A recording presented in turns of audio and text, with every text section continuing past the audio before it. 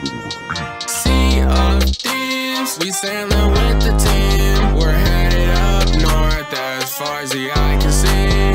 We're carefree, we have no need to flee. I hit a skeleton with my backseat. I'm getting the load and doing the dash. Went to the walls and took all the cash. Whipping and slooping, I almost crashed. Saw my stern, I turned.